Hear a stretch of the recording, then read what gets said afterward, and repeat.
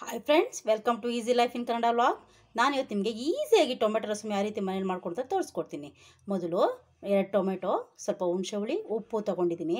ಇದನ್ನು ಒಂದು ಪಾತ್ರೆಗೆ ಹಾಕ್ಕೊಂಡು ನಾನು ತೆಗೆದಿಟ್ಟು ಟೊಮೆಟೊ ಉಪ್ಪು ಮತ್ತು ಹುಣಸೆ ಹುಳಿನ ಸ್ವಲ್ಪ ನೀರು ಹಾಕ್ಕೊಂಡು ಚೆನ್ನಾಗಿ ಬೇಯಿಸ್ಕೊತೀನಿ ಫ್ರೆಂಡ್ಸ್ ಇದಿಷ್ಟು ಮಾಡೋಕ್ಕೆ ಬೇಕಾಗಿರೋ ವಸ್ತು, ಜೀರಿಗೆ ಬೆಳ್ಳುಳ್ಳಿ, ಹಸಿಮೆಣ್ಸಿನ್ಕಾಯಿ, ಕೊತ್ತಂಬರಿ ಸೊಪ್ಪು, ಅರಿಶಿಣ, ಮತ್ತು ಜೀರಿಗೆ ಮತ್ತು ಪೆಪ್ಪರ್ ಹಾಕಿದ ಪೌಡರು ಕರಿಬೇವು ಮತ್ತು ಹಿಂಗು.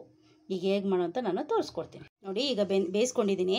ಇದನ್ನು ಚೆನ್ನಾಗಿ ಕಿವುಚ್ಕೊಂಡು ಇದ್ರ ರಸ ಮಾತ್ರ ತೆಕ್ಕೊಬೇಕು. ನೋಡಿ, ಈಗ ತಪ್ಪಲೆ ಕಾಯಕ್ಕೆ ಇಟ್ಕೊಂಡಿದ್ದೀನಿ. ಮೊದಲನಾಗೆ ಎಣ್ಣೆ ಹಾಕ್ಕೊಳ್ಳಿ. ಸ್ವಲ್ಪ ಎಣ್ಣೆ ಹಾಕ್ಕೊಳ್ಳಿ. ಎಣ್ಣೆ ಕಾಯ್ದ ನಂತರ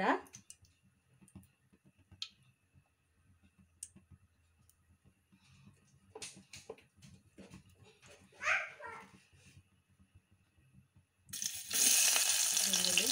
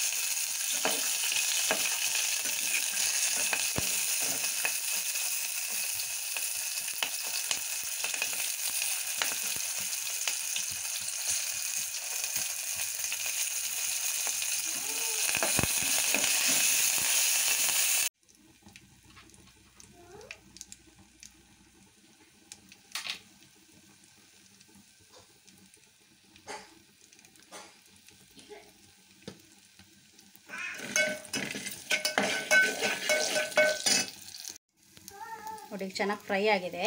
ಇವಾಗ ನಾವೇನು ಟೊಮೆಟೊನ ಬೇಯಿಸ್ಕೊಂಡು, ಸೋಸ್ಕೊಂಡು ಇಟ್ಕೊಂಡಿದ್ದೋ, ಬರೀ ನೀರನ್ನು, ಅದನ್ನು ಇದಕ್ಕೆ.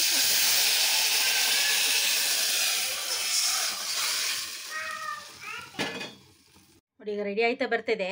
ರಸನ ಜಾಸ್ತಿ ಕುದಿಸ್ಕೊಬೇಡಿ. ಈ ಥರ ನೊರೆ ಬರುವಾಗನೇ ನೀವು ಜೀರಾ ಮತ್ತು ಪೆಪ್ಪರ್ ಪೌಡ್ರ್ ಇತ್ತಲ್ಲ, ಅದು ಏನು ತೆಗೆದಿಟ್ಕೊಂಡಿದ್ದು ಅದನ್ನು ಹಾಕಿ, ಮತ್ತು ಕೊತ್ತಂಬರಿ ಸೊಪ್ಪು ಹಾಕಿ ಮಿಕ್ಸ್ ಮಾಡಿ ಮುಚ್ಚಿಟ್ಬಿಡಿ.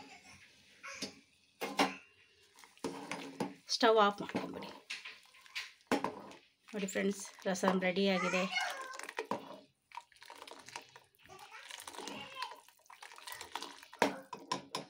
ಉಪ್ಪು ಎಷ್ಟು ಬೇಕಷ್ಟು ನೋಡ್ಕೊಳ್ಳಿ.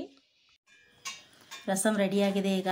ಇದು ಬಿಸಿ ಬಿಸಿ ಅನ್ನಕ್ಕೂ ಚೆನ್ನಾಗಿರುತ್ತೆ, ಹಾಗೆ ಕುಡಿಲಿಕ್ಕೂ ಕೂಡ ಚೆನ್ನಾಗಿರುತ್ತೆ ಫ್ರೆಂಡ್ಸ್. ನೀವು ಟ್ರೈ ಮಾಡಿ, ನಿಮ್ಮ ಫ್ರೆಂಡ್ಸ್ ಸರ್ಕಲ್ಗೂ ಶೇರ್ ಮಾಡಿ ಲೈಕ್ ಮಾಡಿ. ನನ್ನ ಚಾನಲ್ ಹೊಸದಾಗಿ ನೋಡ್ತಾ ಇರೋರು ಸಬ್ಸ್ಕ್ರೈಬ್ ಮಾಡ್ಕೊಳ್ಳಿ. Thank you